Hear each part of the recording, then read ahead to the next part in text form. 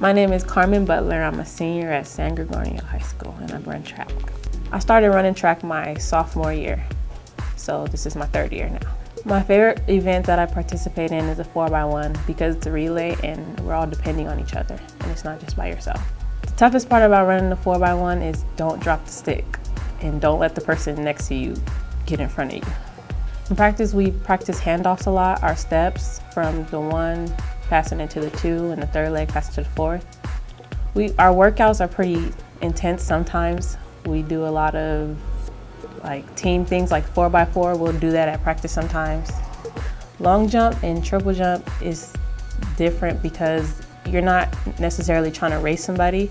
You have to maintain the current speed for you to be able to jump off the board, especially with triple jump. Triple jump is not, it's a control run, not a sprint.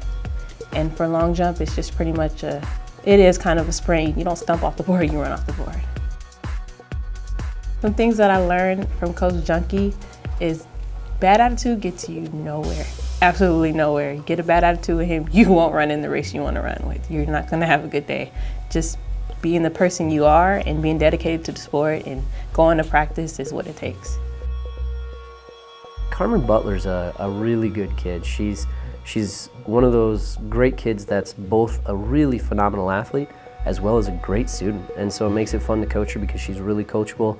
She's smart to, to be able to pick up on the finer things of her, her sport, but also at the same time, she's, she's one of those people that you can point to as a role model and a leader for the younger kids to like try as hard as she's doing in both the classroom and in the athletics. Last year she was the league champ in triple jump. This year she's made four events in league finals and that's the max you can make. So it's, it shows that she's just a really phenomenal athlete for her age. She's made the 100 meter dash, which means she's one of the top nine sprinters. She's made triple jump, top nine jumpers. She's in the four by one, which also means she's in the relay. Like she has a chance to have a really, really fun night at league finals and move on to CIF. Trying to get kids to, to get more involved and be more active is, is a big part of our job as coaches. We try to get them to come out. We usually make a deal with kids, come out for two weeks and give it a try. And then we try to make it fun. And you try to disguise the, the work as fun. And if you can do that, they'll stick around. And then once they stick around, they'll put in more and more effort. The benefits of me exercising regularly is that I want my body to be healthy and I want to stay in shape because I might actually I've had my thoughts of going to the Navy, so I want to stay in shape and it's good for my body. I'd rather not just sit around and waste time at home. My GPA right now is a 3.6 and after high school I plan on going to college. I'm not sure which college yet, but I have RCC in mind, maybe to transfer to UCR because RCC, their track team is really good right now and I like the way they do things there.